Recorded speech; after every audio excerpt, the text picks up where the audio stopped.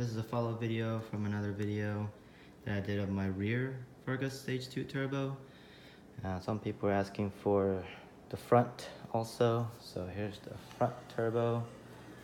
Um, same stage 2, same batch as before.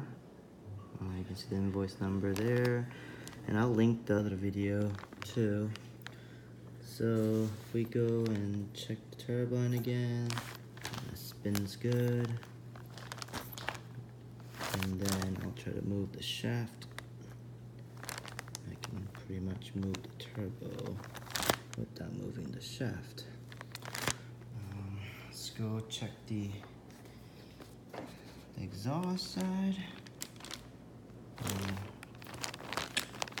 same condition for the flat. And then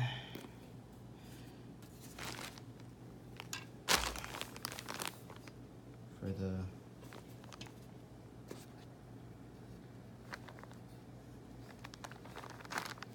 there's no rattle in the wastegate.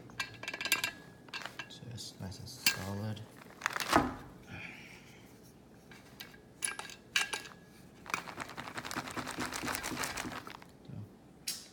Both turbos survived a um, 560 horsepower tune and it's 12,000 miles and still good to go.